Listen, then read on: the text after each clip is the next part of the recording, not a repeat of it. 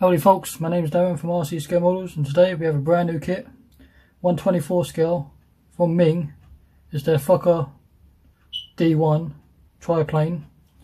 Um, they did do a 132 scale triplane.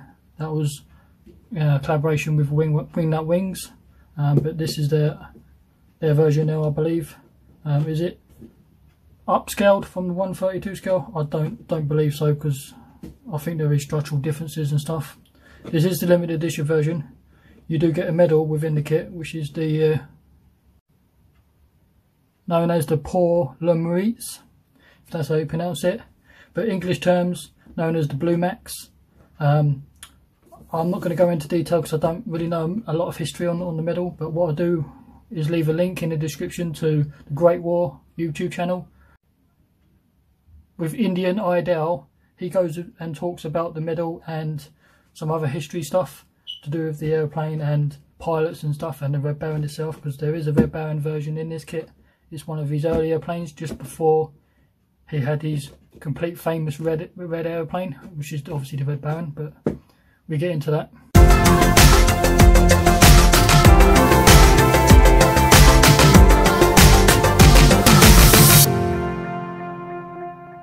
So nice sturdy box. We take this sleeve off. Um, that is what the medal can potentially look like, or what it does look like. Uh, we will show you when in the box. There is a standard version which just looks like this without the medal. Um, but you are going to pay a little bit more for the medal if you do like that kind of thing by collecting medals and stuff, um, which I have done, which is the reason why I bought it. Um, it's loaded with plastic. Um, pretty cool. The clear engine detail. We do get a book and history cards. Here is the medal. We will take a look at piece of information and a competition type thing. Your photo etch parts. Nice decal sheet and a piece of uh, material for your seat belts. So let's get into this. So in this pack is all the paperwork.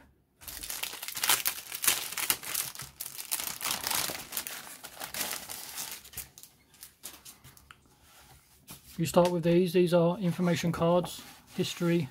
Um, we got it in Japan language, I believe. Um, so if you wish to read it, pause the video. Um, and then we do have them in English as well.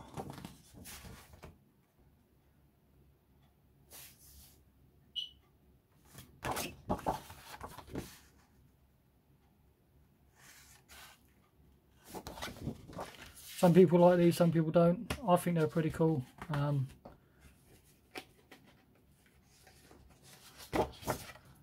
and you got it in uh, languages, which is English version. This one looks like Russian language. Uh, this one is in Russian.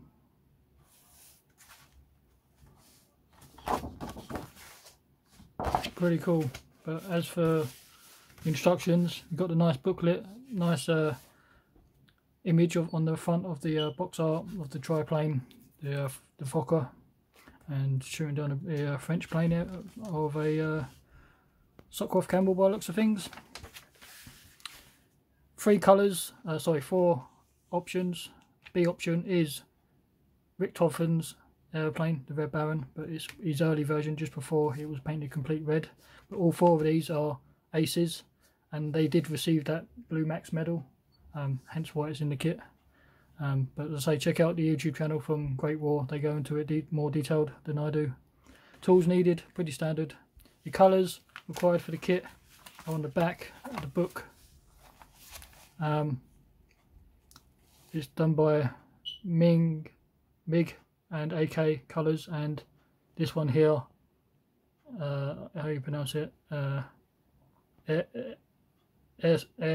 Aeroson which is basically uh, Mr. Hobby colours um, your first step is working on the seat belts are the material ones which are here. We will take a uh, closer look. So you start with the two, two, two strips, another strip across the centre, fold it over. Being it's material type paper, uh, so imagine you should be able to glue it with just normal PVA glue type thing. You do get the metal parts of photo etch and the colour callouts for those are like an olive drab colour. So you want to do them nicely. You might want to uh, chip these up a little bit with silver because obviously the seatbelts being used they're going to get worn down and a little bit of a wash should make these seatbelts look nicely. Internals you have a fabric piece in the real aircraft, a bulkhead, your seat, cushion, and this is how it's assembly, and your seat belts going in. There are lap belts as well, but you put them on later, because I have already checked out this kit. I've already gone through it once just to check out what's in it. Um, as I say, your seat is uh, like a brown leather colour. Inside of the seat is like a lighter brown. The actual seat itself, they're calling out for metal. This is like a linen colour because it is fabric. Um, that assembly. This section here is part of the uh, fuel tank assembly, I believe. Part of the uh, gun assembly, pedals, and that kind of thing. Instrument uh, dials. Um, this called out for to be silver, and the piping and pedals are all done in gloss black. I have checked my references; that is correct. Um, you want to chip these black parts up because obviously it is metal but painted black. Inside the cockpit is the frame which is like scaffolding type frame. In here they're calling out for um, two options. You do have to pay attention because the A and C version aircraft have a call out for the framing to be like an olive green colour, German olive green, and the other B and D's version is calling out for black framing. So again, check your references and go as you do. You got a compass to put in. This is the floor. Again, it'd be in the real aircraft would be made of wood. So you want to do a wood colour effect. Um, your flight stick, there is two types for A and C version and B and D version. I am going to probably do Richthofen's aircraft, the early version of the Red Baron, which would be B version, so I'll be following B along once you've built up the uh, seat previously and the side of the cockpit can go together, you can start assembling these small sub-assemblies and it starts to make up the cockpit. You're not going to want to paint all of these individually and put it together because there's a lot of different colours. Um, and now you, once you've built up the cockpit section, you can start attaching your lap belts because they are asking you through to hook them onto the uh, frame. Here, if you want to add extra detail, um, you can rig up parts of the uh, cockpit with structural rigging and the blue lines on the bottom, uh, sorry red lines are cables for basically the flight cables for the aircraft but you just run them inside and that's it you're not going to need to run them to the back of the aircraft because you're not going to see them but you if you want to add more detail you can do so it doesn't tell you the length it doesn't tell you the thickness of cable um, so you're going to have to judge it yourself. Side of the fuselage halves, drill holes out, it's telling you 5 millimeters and so forth. This triangle piece in brown in the real aircraft is made of plywood, so you want to do a plywood wood effect. And at the outside of the aircraft is going to be the linen, inside the linen colour is like an off-white colour. And then you can sandwich it all up It is kind of wingnut wish, wingnut wings esque style, and Wing of uh, taken it on, and you can see there is some changes, and it's got their kind of style to it. Um, I haven't seen the 30 second kit, so I can't say for sure how close this is and if it has been upscaled or not. But it seems good to me, I like it. The kit does look pretty cool. We have the bulkhead, they're calling out for silver. We have the center cap for parts of mounting the engine and we have bits of bits of uh, inside near the engine. And these are calling out for gloss black. Um, we have a structural spar on the uh, lower of aircraft. We have the skid at the back we have these photo etch parts at, at the back of the aircraft is more cables coming through and rigging. What I do like about the uh, D1, it doesn't have a lot of rigging. Um, World War One aircrafts can be quite uh, tricky to do with rigging, and I struggle with rigging because I haven't actually done it. So, like I say, I'd like the D1 because it hasn't got a lot. We have these panels on the side. You can attach your tail uh, and uh, fins and another piece at the back, another spars for structural strength. Uh, this piece, I know on the uh, 32nd kit for sure, people had these parts were broken at the early stages. So I can tell this has been taken from the 32nd, but hopefully it's a lot stronger. We have this piece on the inside, um, is to do with the machine guns. Again, you've got different colours. I imagine it would be the gloss black and olive green, whatever version you're doing. You've got your main wings. You can see down here, it's got structural strength, which we will take a look at. It's asked you to cut out some notches, because on the leading edge of the wing there are these plugs, which are here. It's again, make sure you're doing the right options, because A and C are on the outside, and B and D are slightly on the inside, and now painted black sandwiching the two halves of the wings together and putting your strengthening arms in. You can attach that to the aircraft, but it all depends how uh, what type of colour scheme you're doing. You may want to paint these individually before mounting it to the aircraft. You don't want to build the whole aircraft and try and paint it separately because some parts are not all the same colour. Again, these are the middle wings I believe. Um, again you've got to cut out the notches but make sure you do it in the right place because you've got those pieces going on the leading edge of the wing. Attaching the uh, middle wing and lower wing together and we have the uh, bottom part. Machine gun assembly. You get two options. You do get plastic molded ones or you get molded machine gun but you do get uh, etch metal shields. I do know in this kit the metal shields are already mold, uh, folded for you, so they're already rolled, which is a nice touch. Uh, left and right um, machine guns, your option. We have the mounting brackets for your machine gun going in. And this is what it looks like once it's done. This is the uh, inside the cockpit. Hopefully it should look like that when you've done it, but all painted in different styles we have some more instrument binnacle going in. Uh, upper wing section again, making sure you've got the uh, leading edge plugs in place. I don't know actually what they're for. Touching your upper wing, but again, depending on your paint scheme, you may want to paint it separately and touch it later. Flaps going in, as standard. Lower landing gear wing, so it's two halves, and the wheels the wheels come as two piece. Um, tyres and centre cap is one and then the cap on the other side. Should be pretty uh, simple. It's going to take a mask to uh, mask them up.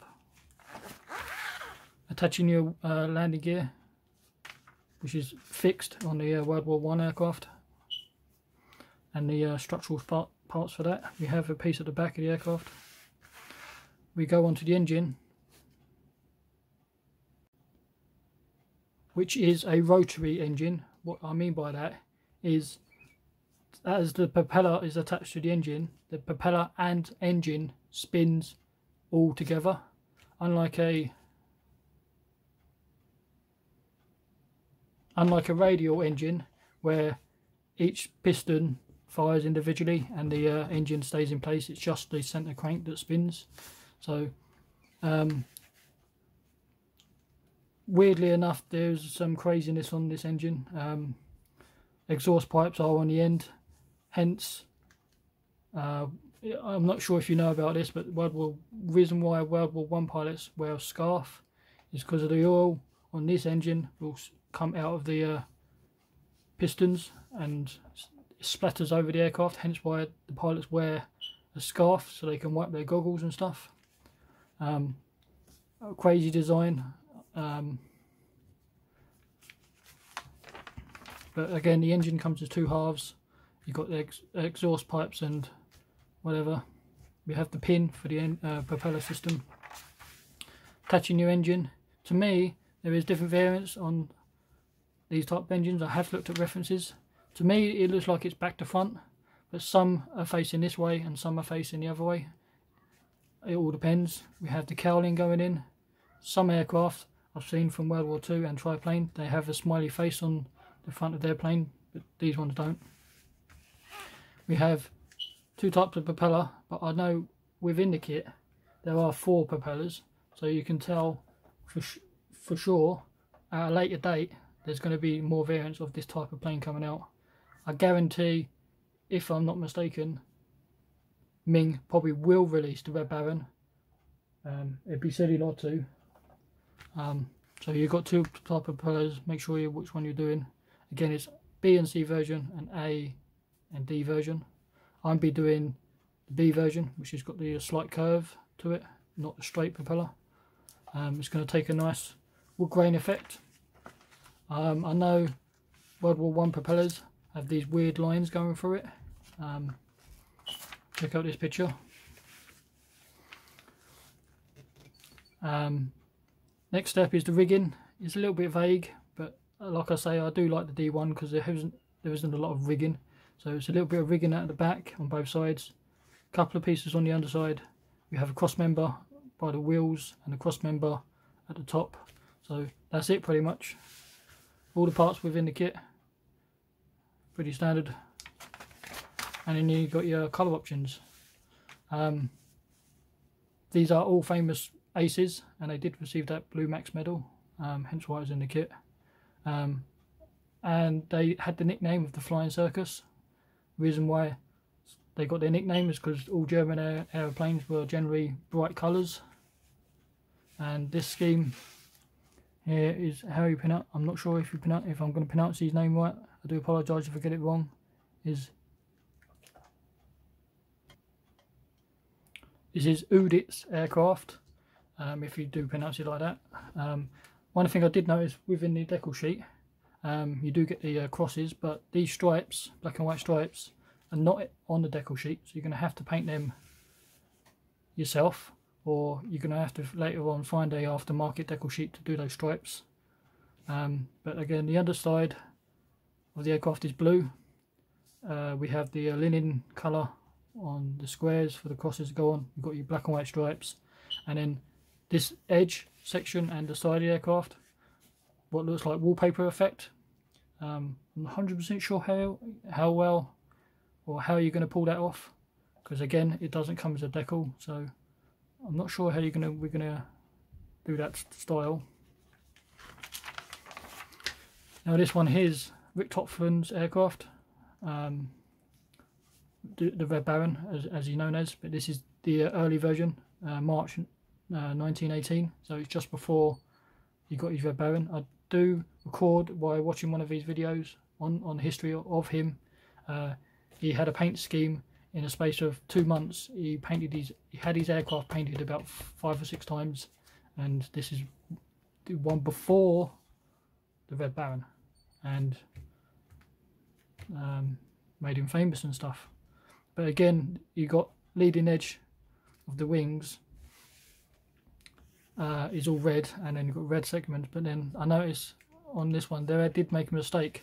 Again these underwings they've painted in red but on the real aircraft um, it's got this paper wall paper effect uh, brown colour so you're going to have to do this on the side of the aircraft and middle wing and lower wing is done in this effect. Underside is blue and it's got the uh, linen squares we have this scheme here. The pilot for this aircraft is Rudolf Klinker if that's how you pronounce it. I do apologise um, but it's this is quite brightly coloured and uh, it's getting it's got that wallpaper effect. It's got the ANCA symbols and it's got the yellow nose and yellow tail and white white tail and sort of yellow yellow bit at the back. Uh, yellow uh, wings at the back. Again it's got the uh, famous blue colour squares for the linen and then it's got this wallpaper effect all over the top like I say I, I just don't know how you're going to achieve that um, So I'm going to have to uh, invest in maybe decals for that or if I do side that scheme or we're going to have to try and work something out. Anyone knows how I could achieve this effect, uh, leave it in the comments down below. This one here's Plinth aircraft. You can't really make a mistake with this one because he's got his name on the bottom of the aircraft. Sorry, on the top of the aircraft. Um, so you can't really make a mistake. His is, again, it's got the stripe, but it's more of a green colour this time. And he's got the white and black. His tail is half and half, white and black. It's the black nose. Again, it's got the blue underside. And the colour callouts. You're going to have to do your references because I don't have these colours in both manufacturers, so I'm going to have to uh, do my conversions. So as for the decals,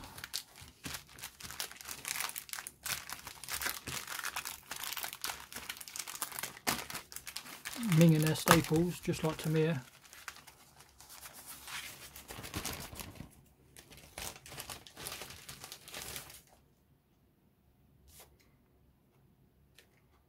We have this piece of paper, fabric type material. This is for your seat belts. They are laser cut. Um, and it's white on the other side so I imagine a bit of PVA glue should hold these together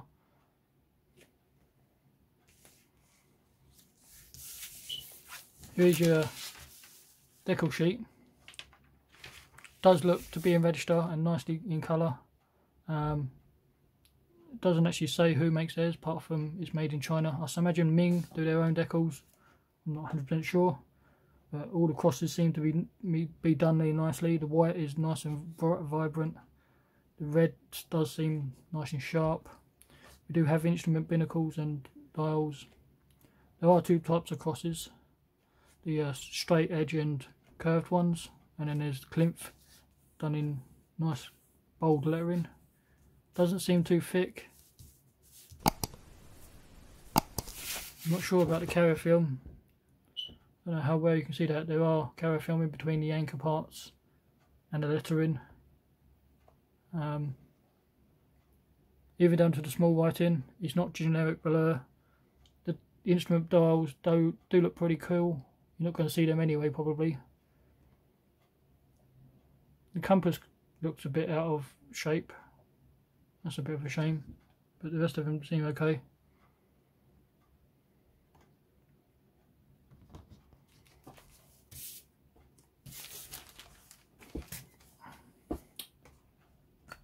While I'm here I will show you the photo etch parts.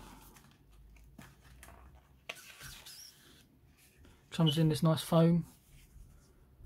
You can see here these are the uh, uh, casing or shroud, shrouds, shrouds for the um, guns. Like I mentioned they are already uh, folded for you and rolled over so it's just a case of slotting them over the guns, which is a nice touch. I find folding etch can be quite tricky and bending it. Here are the seat belts attachments um, and the gun parts of the gun and some buckles and some structural parts for the aircraft for at the back of the airplane I know that is. Again you probably want to paint these and primer these first and then paint these with this uh, quiet colours and whatever you need to do. So we put this back in here so it gets protected. We don't want to get this damaged.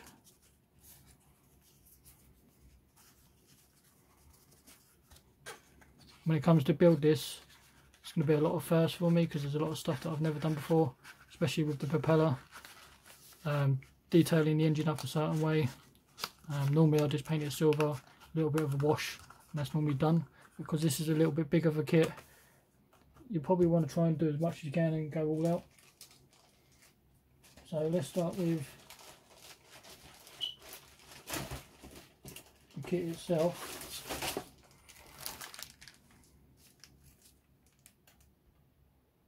So I moved you out a little bit so let's have a look at the kit itself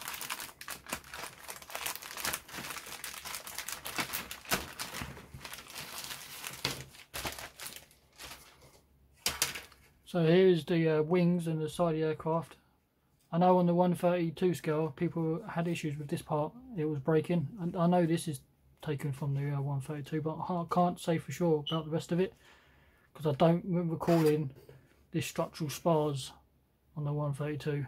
Um, it's nice they've done this now because uh, it makes the wing stronger. It's not going to fold in on itself or be quite soft and it's going to give it structural strength. It was inside the aircraft. There are ejector pins you're going to have to take care of, unfortunately. But again, this triangle piece is the uh, wood, wood grain effect and it's the ply part. And again, it's got ejector pins in there. That's one thing I don't like about Meng. Meng do put their ejector pins in awkward places, especially on detail parts like this, because you would see it. We have the tail. This is the lower section.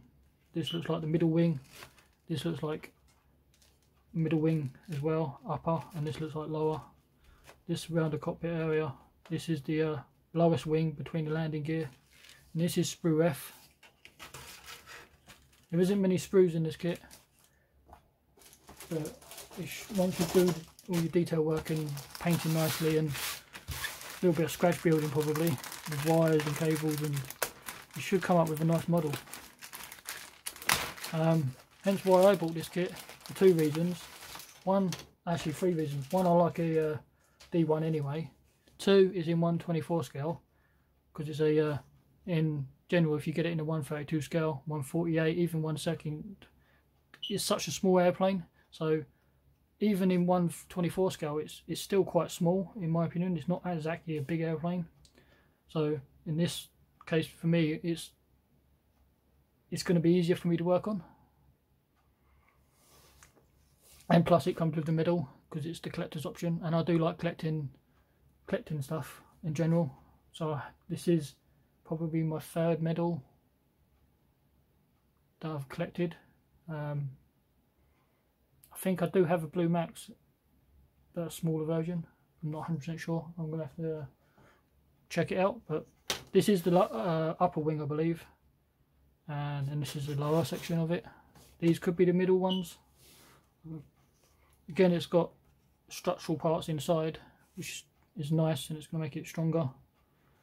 These pieces are is for where the landing gear goes. These are the uh, basically the legs.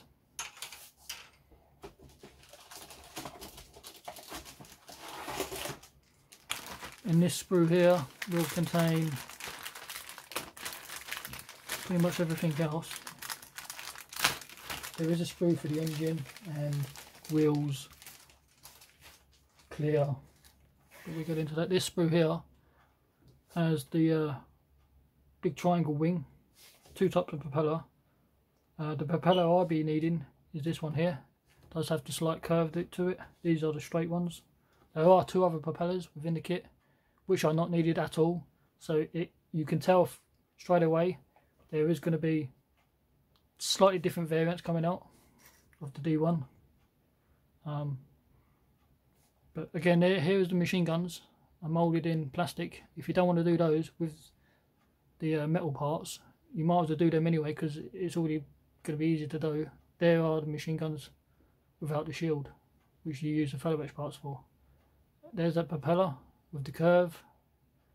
There's the straight version you will use straight or curved version. Um, the other two, are, like I say, are not needed. There's the triangle tail. There's a bulkhead, cockpit floor. There's that linen cockpit uh, bulkhead behind the seat. There is your seat itself, and the piece above it is the cushion. This piece down here is the uh, part of the uh, scaffolding frame for the cockpit. Here's part of the uh, structural part for above the fuel tank. This long piece is the uh, structural spine of the aircraft. We have piping. This piece here is for the engine mount. Here is the other side of the cockpit. More piping is part of the fuel tank assembly. Um, you do get a uh, pistol type. I didn't realise that was in the kit at all. Levers and stuff like that. There is another type of gun. I think one of them is like a flare gun. Your foot pedals and more um, parts for the internals of the cockpit. It looks like all the uh, levers and stuff. There is a nice sprue. This sprue is sprue A.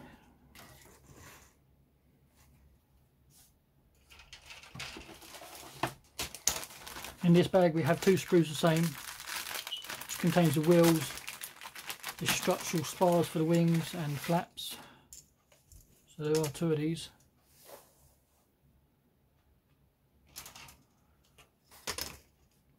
So you've got your uh, centre cap and the wheel itself.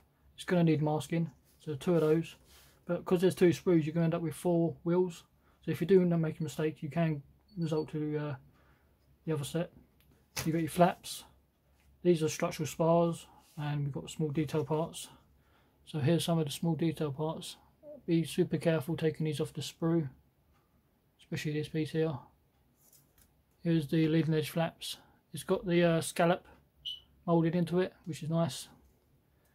Nicely moulded wheels and centre cap. Structural spars, so it's going to need a wood grain effect and painted metal parts. There's the other side of the uh, flaps.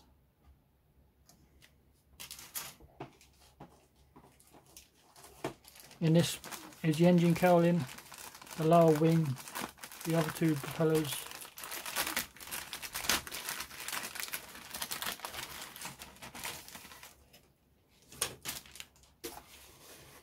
So two propellers which are not needed. Uh, front cowling, lower wing which is the small wing in between the uh, wheels. This is the uh, centre engine cap and then we've got one of the flight sticks. So here is the other propeller and the other one. Here's the nice moulded engine cowling. It's got the bolts and moulded into it. There it is raised and it would be. It's not going to be uh, flush. Here's the centre wing between the landing gear. Again, it's got structural pins. Uh, it should be all nicely. There are ejector pins. You may need to take care of those because it might affect the fit. But there's nothing we can't take care of as modelers. One of the flight sticks. So be careful taking it off. The tabs either end and the top piece is all you need. Do not cut these bulge bits off because that's how it is moulded. I was looking at this for a long time to try and work it out. It's easy done to cut these off and screw it up. So one here, one here, and one at the top, and that's it. A little bit of cleanup, but just be careful because it is moulded quite thinly. This sprue contains your engine detail, or engine in general.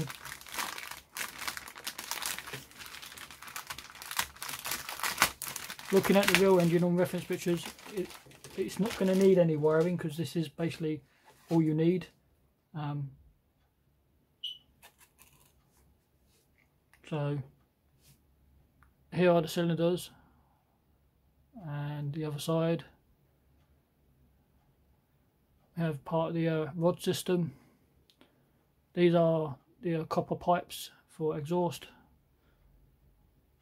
Um, and then these pieces are the center caps. Uh, center cap for the propeller system. Here's the center cap for the engine. These are the edge leading edge of the uh, pistons. And here's the uh, center crank. Um, like I say it is a weird engine. It spins at the same time as the propeller. Um, and oil and smoke comes out of the uh, leading edge of the uh, engine. Hence why like I said before pilots wear a scarf to clean their goggles because oil and smoke just gets splattered all out of the engine. Um, uh, when it comes to paint this you probably want to do a little bit of engine splatter on the cowling and stuff and down the side of the aircraft.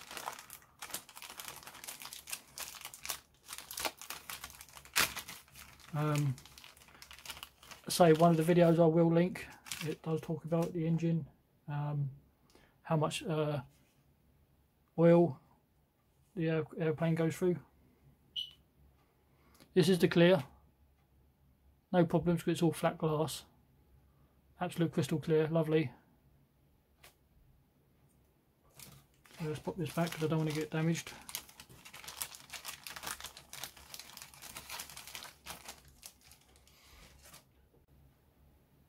Oh, one more thing is the medal, is the Blue Max that comes with the collector's edition kit. Um, and there it is all in its glory, nicely done, nice replica. Um, if you like these type of things, go ahead and get the uh, collector's version. If not, just get the kit. Um, it is it, uh, given to the uh, highest reward uh, per participants of World War One uh, on the German side. Um, yeah, it's a nice replica, nice, nicely done. So it'd be nice to wear or even display with your model when it's done anyway.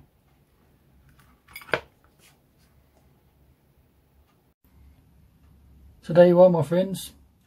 There's another kit from Meng, uh, 124 scale, as the Fokker D1 triplane. Nicely done. This is the collector edition, like I say, with the Blue Max. Uh, like, comment, subscribe, and I'll catch you later.